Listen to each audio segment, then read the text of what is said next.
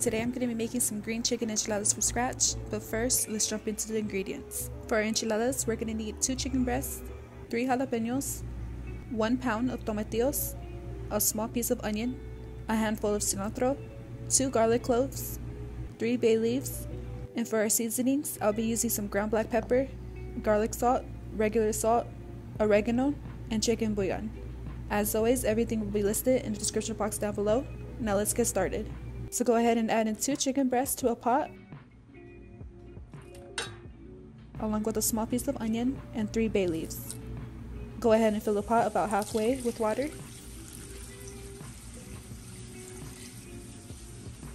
And season that to your liking with some ground black pepper, garlic salt, oregano, and chicken bouillon. After seasoning our chicken, let that boil for about 45 minutes or until the chicken is fully cooked. Once our chicken is almost done, add in 1 pound of tomatillos to a separate pot along with 3 jalapenos. Then we're going to fill that up with water and boil for about 10 minutes or until softens. Now that our chicken is fully cooked, we're going to move that to a bowl so we can shred it. Make sure to reserve the bay leaves and onion from the broth, that way we can use it for our sauce later.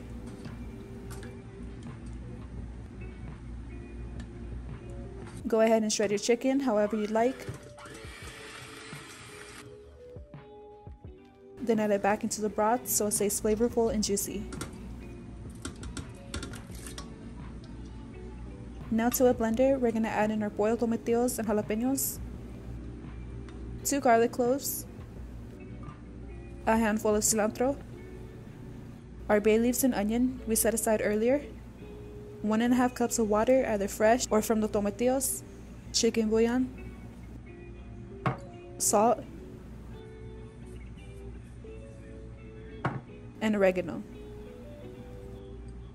Blend that well, then heat up some oil in a pot. Once our oil is hot, pour in the sauce and simmer that for about 10 minutes. While our sauce simmers, heat up some oil in a pan and begin lightly frying some corn tortillas.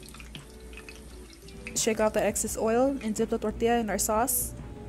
Set that on a plate, add on some of our juicy cooked chicken and roll that up. Then repeat. Once we're done making our enchiladas, we can now begin to serve. I like to have these with fiesta blend cheese, extra sauce, lettuce, tomato, homemade salsa, and sour cream. Now it's ready to enjoy. Thank you guys so much for watching my video. Please don't forget to subscribe and click the notification bell for more of my recipes. And if you get this recipe a try, let me know in the comments down below. And I'll see you guys in the next one. Bye guys!